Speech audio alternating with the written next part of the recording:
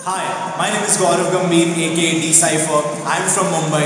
Please help us in raising funds for the 2016 Indian Beatbox Championships. Here's a little freestyle for all of you guys.